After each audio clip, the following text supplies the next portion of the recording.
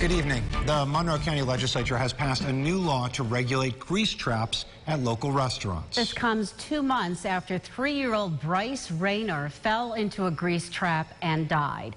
Christian Garzon joins us live tonight from the Tim Hortons restaurant on University Avenue in Rochester where all of this started. Christian?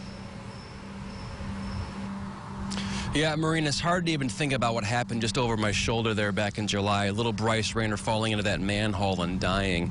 Uh, now, Bryce's Law, as County Executive Dinolfo calls it, will establish new guidelines in the county for restaurants, grease traps, and inspections. Uh, now, tonight, the county legislature passed Bryce's Law with full support, and the mother was there. Uh, Bryce's mother was there, was there. Obviously, it was an emotional time for her. She says, well, it's still too late to save her son. She's hoping this law can help prevent future tragedies from happening. All in favor say aye. Aye. A new motion to hold annual grease trap cover inspections, Bryce's Law, passed unopposed in the Monroe County Legislature tonight.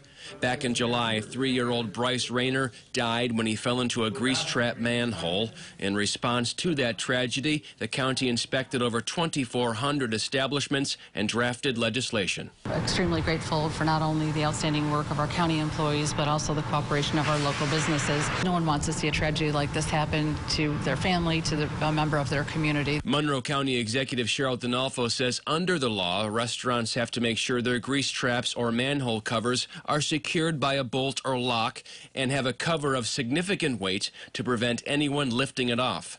Bryce's mother, Tanisha Cullum, was at tonight's public hearing. Very emotional, very, very emotional, nerve wracking, um, overwhelming. Cullum says she's hoping this new law can help prevent any future grease trap tragedies from happening. It'll never bring my son back, but this is.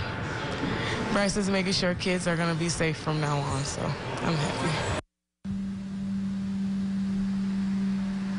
Now, Dinolfo's hoping Albany takes notice of all this. Now, under the law, any establishments violating these new grease trap laws will be uh, given fines or face suspension of permits.